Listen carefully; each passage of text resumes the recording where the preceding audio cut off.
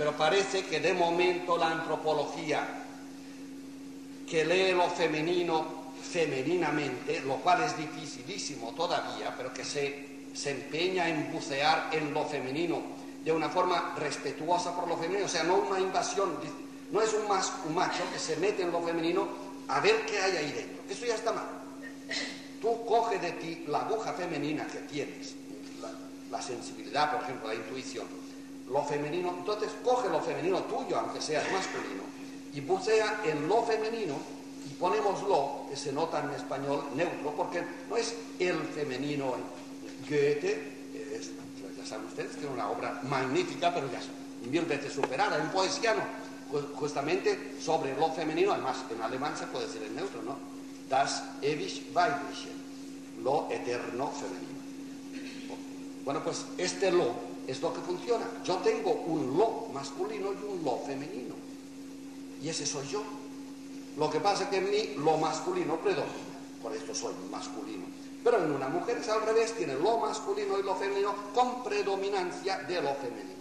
Bueno, pues coge la aguja de lo femenino que hay en ti y métete en lo masculino, otro, diferente de ti, y bucea ahí.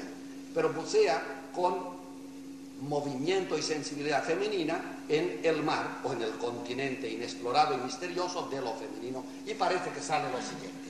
Lo femenino debería definirse como disponibilidad. La parte femenina, sí, digo que es mucho más fácil. ¿eh? No, no piense cada uno en su mujer o en su marido, sino en sí mismo. En mí, lo femenino es disponibilidad. Está claro que en la mujer lo es prevalentemente. Es disponibilidad, digamos, tierra para ser arada. tierra disponible, puedes abrir un surco y sembrar en el surco lo que quieras y te dará una cosecha, evidentemente. Tierra para ser arada, disponibilidad. Digo, ya dije otra vez, pero aquí, aquí cuando lo dices así, lo repetiré todavía otra vez, salta una palabra inmediatamente o sea que lo femenino, lo típico femenino, ¿eh? das ewige weibliche, es, lo típico femenino es disponibilidad. Una tierra que tiene ganas de ser abierta en el surco y que siembra en semilla. Palabra que viene. He aquí la esclava del Señor, hágase en mí. ¿Será que esta señora cogió lo femenino rápidamente y lo exhibió en el mostrador de forma definitiva? Fíjate por dónde vienen las cosas. Y justamente acaba, no es al revés, no es que tenemos a María y hemos dicho, a ver si María nos lleva a lo femenino. Ha sido lo contrario. Teníamos a María sin conocerla y de golpe hemos descubierto lo femenino y al descubrir lo femenino desde la antropología decimos, anda. Pero si María justamente cada vez está diciendo esto, la, niña de Nazaret que tendría 18 años, está diciendo, ¿qué pasa aquí? Esa es la maravilla. Y eso es lo que creo que el otro día no, no dije cómo tocaba. Lo femenino es visto femeninamente, visto desde uno mismo, visto por tanto desde mí mismo, no estoy haciendo apología de nadie, estoy hablando de mí. Lo femenino mío, visto femeninamente desde lo mío femenino, es lo primero disponibilidad. Estoy disponible a que en mí suceda algo, esto es femenino, esto no es masculino.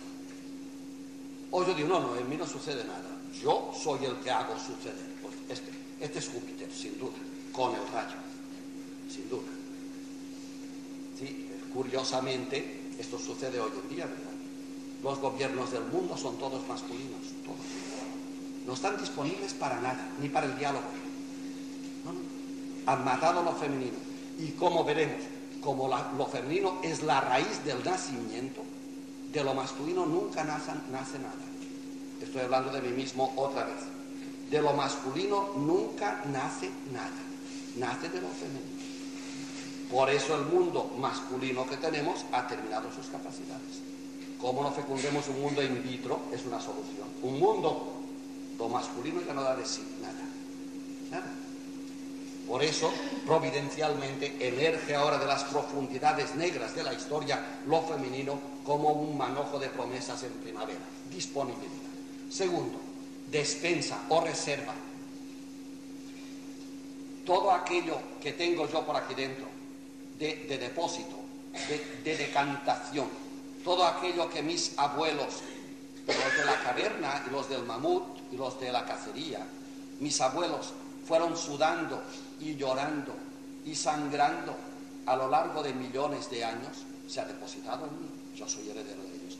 Esto está en mi parte femenina, no en la masculina. Pero la despensa, donde está el patrimonio humano del cual soy heredero, es femenino en mí. Por esto dije el otro día, y lo quiero recordar otra vez, si un niño pudiera nacer hijo solo de su padre, este niño empezaría la historia humana otra vez, porque no heredaría nada, o muy poco. Heredaría la parte femenina de su padre, que la tiene claro. Por ahí se salvaría. Pero si un niño naciera de un padre solamente masculino, no sería hijo de nadie. Y en cambio un niño que pudiera nacer de una madre sola, como el reservoir, la despensa de la humanidad está en la madre, el hijo de madre sola no perdería nada. Vendría con toda la riqueza humana que venimos nosotros. Eso le pasó a Cristo. De madre sola no perdió nada. Es tan hijo del hombre como cualquiera de nosotros. La madre. La madre que somos cada uno de nosotros, la despensa. El lugar donde se acumula lo que la humanidad va siendo, va siendo, esto es femenino en nosotros. Por tanto, aquel hombre que dice yo no tengo nada de femenino, dice que no es hijo de nadie. Es un hongo humano, un hongo en antropología. No es hijo de nadie. Es curioso. Y así empezamos a ver por la antropología por dónde nos van a venir ahora las revelaciones sorprendentes. Y tercer punto. Parece que lo femenino que llevamos cada uno de nosotros y las femeninas en superlativo es la intuición en cuanto a la visión del mundo y a la lectura del mundo. Intuición quiere decir capacidad de penetrar sin caminos. Tú te acercas a un bosque cerrado, a selva virgen, y sin más hueles y dices, intuyo que hay leones. Claro que en la selva virgen puede haberlos, no hace falta mucha intuición, pero cada uno que abstraiga, intuyo que hay leones. Eso es femenino. Y de hecho, si tienes a tu lado, cuando lo dices, una persona más masculina que tú, dirán, ¿cómo lo sabes? Ya está fastidiado. Esto es el varón. ¿Cómo lo sabes? Es pregunta de varón siempre. Siempre. Interesante. Es lo masculino, pero en nosotros nos preguntamos igual. Me sitúo yo solo. Y digo, tengo la intuición de que por aquí hay leones. Y lo masculino en mi salta dice, idiota, ¿cómo sabes tú que hay leones? Y, me meto. Y me come un león, claro. Me meto. Eso es lo curioso del hombre. Somos dobles, dobles, no lo olvidemos. Por eso digo que hablamos de cada uno de nosotros. La intuición, ya la puse el otro día, está en contraposición con la razón. La razón de Descartes, por ejemplo, y todo el mundo occidental desde el siglo XVI es racionalista. Y hemos ido adelante por la razón. Y ya expliqué que nuestra gloria es saber razonar. El tonto es despreciable, por santo que sea. No lo dijimos el otro día. Un niño tonto no lo quiere nadie, aunque sea el más santo de la fe. ¿Qué hago yo con un santo? Nos decimos. Claro, ¿qué haces con un santo? ¿Lo llevas a San Pedro a que te lo pongan en las alturas? ¿Qué haces con cambio, con un listo, todo el mundo sabe qué hacer. ¿Ves? Es el razón, el, el raciocinio, la razón. Entonces, masculino, la razón. Contra la razón está la intuición. Una intuición que cultivada como toca en lo femenino, no solamente acierta en lo femenino, las mujeres son intuitivas, sino en lo femenino de cada uno. Cuando tú no tienes razones, no te avergüences de abrir la puerta a lo femenino y decir, a ver por aquí cómo funciona. Y posiblemente la intuición te lleve a conclusiones mucho más razonables que las razones. Hay razones que la razón no entiende. Estas son las intuiciones, son las razones del corazón, las de Cervantes, las de toda la gente que ha pensado por el lado femenino cuando toca. Así que el hombre es un equilibrio entre femenino y masculino que no está puesto. Si esto es así, partamos ahora de estas bases.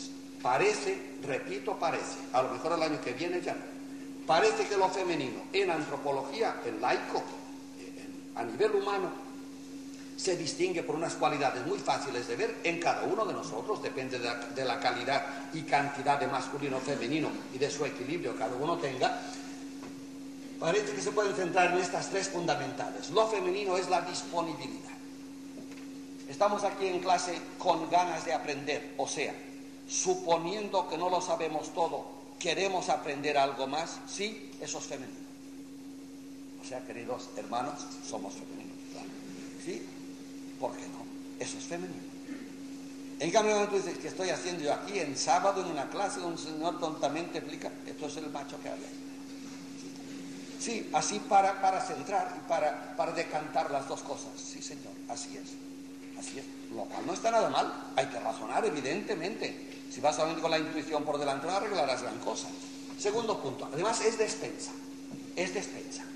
¿Qué es lo que hace que yo esté aquí, vestido como estoy, hablando la lengua que hablo y comportándome en una sociedad que me entiende y acepta mis gestos? Que es la evolución de la humanidad.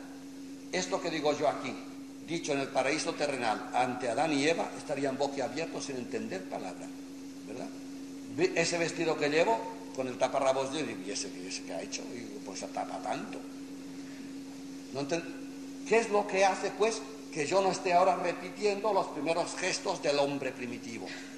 Pues sencillamente que entre él y yo hay unas generaciones que han acumulado su experiencia en mí entonces, ¿qué es lo que hace que yo no repita la historia ya hecha?